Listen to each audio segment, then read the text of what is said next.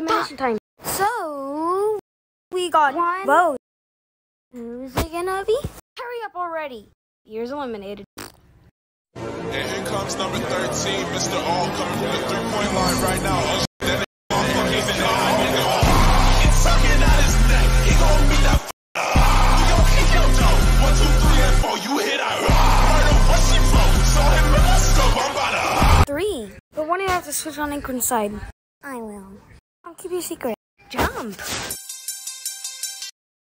What?